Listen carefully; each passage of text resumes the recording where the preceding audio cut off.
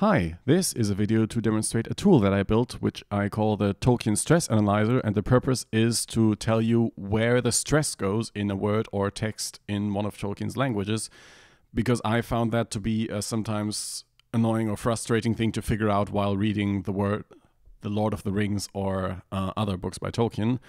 And the way to use it is fairly simple. You type something in the text box here, and I've just set up a little bit to um, simulate that so I don't have to type it actually all out. It can be a single word like Morannon. You select the language down here. In this case, it's Sindarin. If you're not sure, that's probably fine, or you can try the other one, and in this case, doesn't make a difference anyways. And then the result is down here, and you see that it's stressed on the second syllable, Morannon.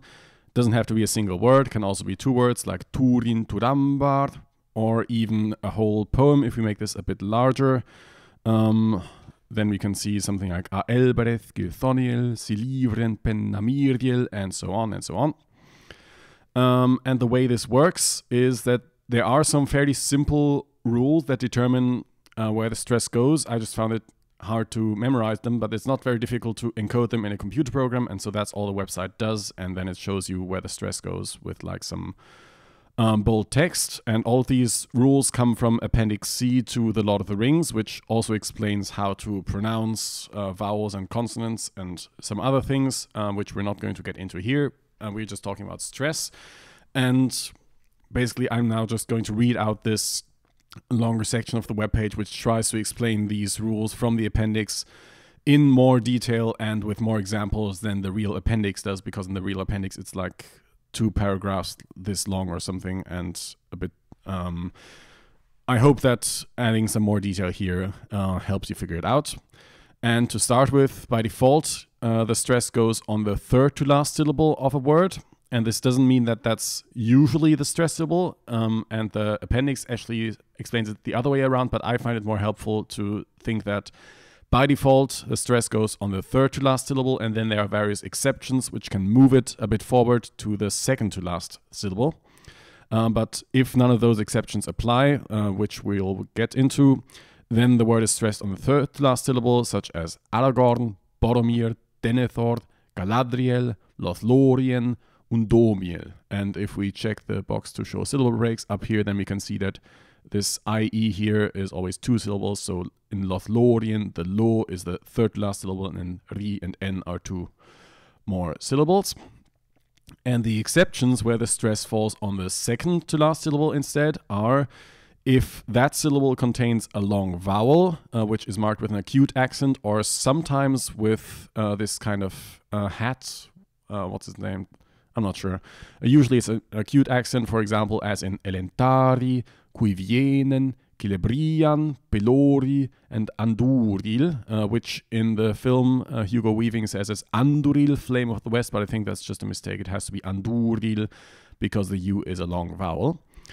Um, the acute accent doesn't necess- necessarily mark a stressed syllable, and there are words where it is on a syllable that isn't stressed, such as nauglamir or palantir, uh, but the plural is palantiri, and here it's again on the stressed syllable. Um, but if there is an acute accent somewhere in the word, then it's probably going to be the stressed syllable um, because if it's on the second to last syllable, then the acute accent is going to move the stress to that syllable.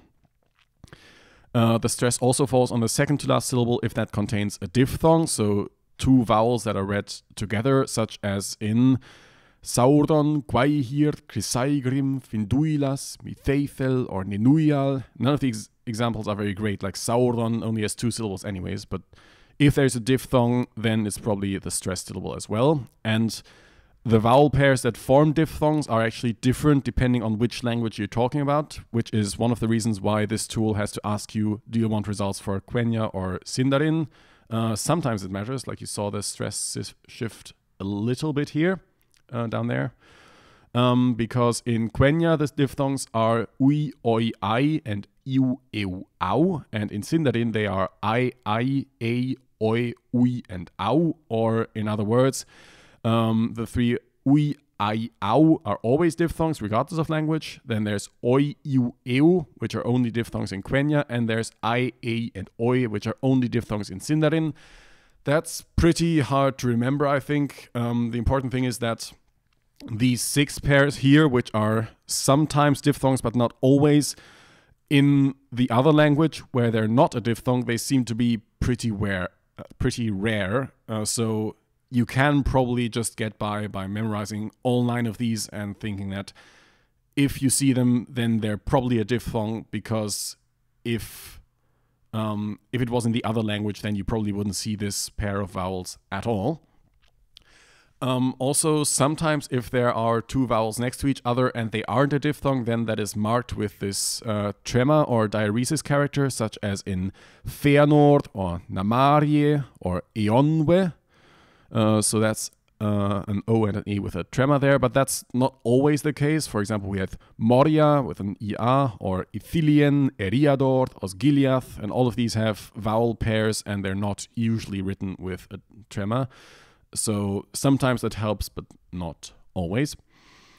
And finally, the stress falls on the second to last syllable if this contains a vowel which is followed by two or more consonants. And this is actually probably the most common one of these three exceptions, so I'm not sure why I put it in the last place, but some example, examples are Mithrandir, Elendil, Isildur, Thorondor, and Utumno. And this also applies if you have two copies of the same consonant, a double consonant, which uh, for pronunciation means that you say the, the consonant for longer. And examples for that are Morannon, Pelennor, Elessar, or Bragollach. All of these also move the uh, stress ahead from the third to last syllable to the second to last syllable. Um, but you have to keep in mind here that CH, DH, and TH, they're written in English with two consonants, but they count as a single consonant.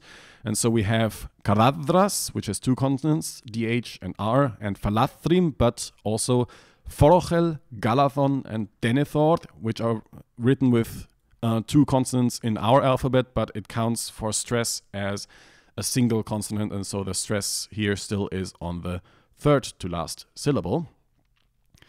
And if there are less than three syllables overall, then it's um, always the first syllable is stressed, Amon, Amarth, or Gurond. And I think the appendix says it falls practically always on the first syllable, and I don't think it actually specifies any example where the second or last syllable would be stressed, so I'm not sure why it says practically always.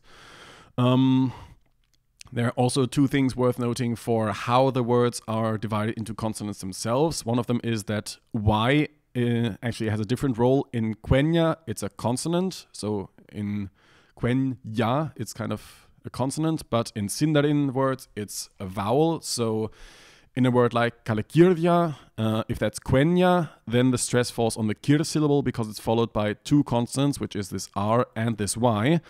And in Sindarin, the Y would be a vowel. You would have more something like Kalakirya, and then the stress would still be on the kirt because then it would be the third last syllable, but um, the word would be analyzed differently at least.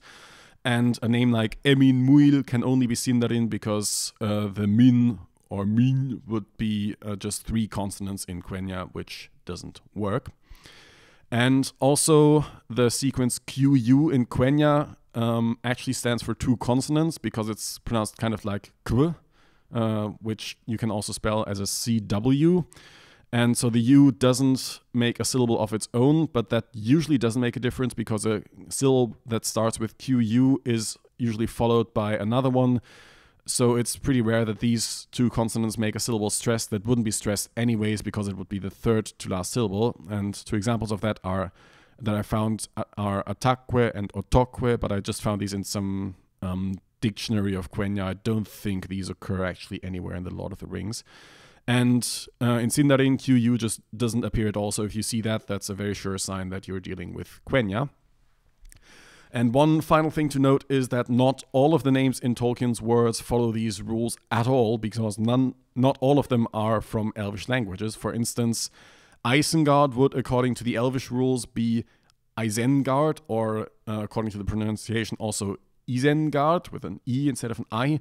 Uh, but it's actually supposed to be an English form translated from the language of the Rohirrim, and so it's pronounced as you would in English as Isengard, uh, with the stress on the first syllable and also the I letter. Um, but I think the English form words are usually not that hard to recognize, and you can also sometimes or usually determine from the context which they are, I think. And then I have down here two paragraphs about things that are unclear um, about the rules. And the first is hyphenated words, because Appendix E doesn't say how the stress rules should apply to hyphenated words. They are not very common, but some of them um, exist, such as Gilgalad. And you could imagine that you should analyze each part separately, or that the whole word should be analyzed as one thing and you just ignore the hyphens. And um, there's a couple of hints in the text, usually from poetry. That's also going to apply to the next uh, section, um, where the poetry is to be read in a certain meter, and that probably tells you how the words in it should be stressed, such as this one. Gilgalad was an elven king, of him the harpers sadly sing, which is the Fellowship of the Ring, Book 1, Chapter 11. And from the meter there, you can tell that it's supposed to be Gilgalad, and then you have every second syllable stressed. Gilgalad was an elven king. And if it was Gilgalad, then that wouldn't work out. So that suggests that you should analyze each part separately, and then you have Galad as a word, and there Gal is stressed as the first syllable of a two syllable word. And if you were to be analyzing the whole word without the hyphen, then the stress would have to be only on Gilgalad as the third to last syllable. And I had trouble accepting this for a while personally because I just got used to Gilgalad, um, which sounded nice to me. And eventually, the thing that won me over was realizing um, what this meant for another word, which is Baradur.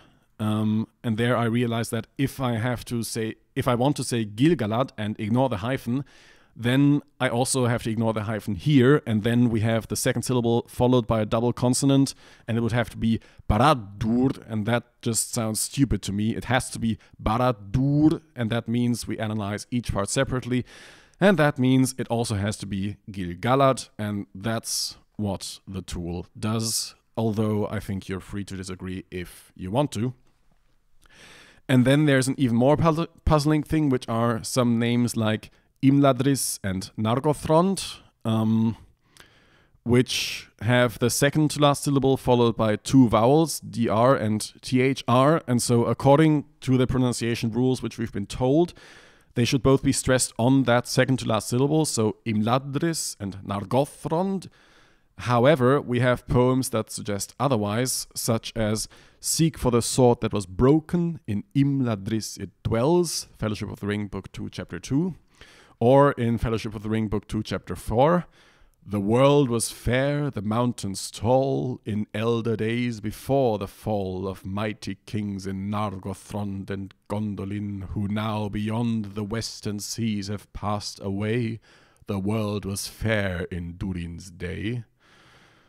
And some people have noticed this before, and they've even suggested a solution for this, which is that apparently in Latin there's a rule called muta cum liquida, which says that if you have a mute followed by a liquid consonant, um, then they count really as one consonant, both for the purposes of uh, dividing the text into syllables and for the purposes of stress. And so instead of imladris, you have im, you have imladris, and you also have Nargothrond instead of Nargothrond.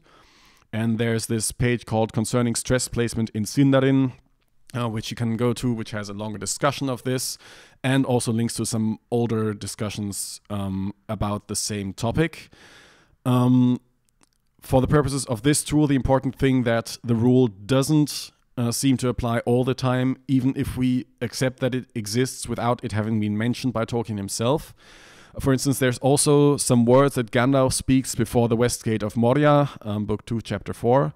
Annon edhellen edrohi ammen fennas nogothrim lastobeth lammen. And it's pretty clear that nogothrim is supposed to be stressed on the second to last syllable, even though it has the same O T H R um, sequence, and that happens in Nargothrond.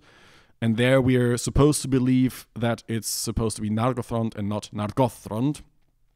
Um, and so, as far as I can tell, at least, there's just um, no way to tell when this muta cum liquida rule is supposed to apply and when it's not supposed to apply. And so the tool just ignores this. And if you ask the tool, where does the stress go in Imladris or Nargothrond, it tells you it's supposed to be Imladris and Nargothrond because that's what Appendix E says. And in the end, it's up to you whether you believe that or not. But that has been my attempt to uh, explain stress in Tolkien's languages and to demonstrate this tool, Tolkien Stress Analyzer, which does this whole analysis for you, and maybe it's useful and you can have fun with it. And that's basically it. See you.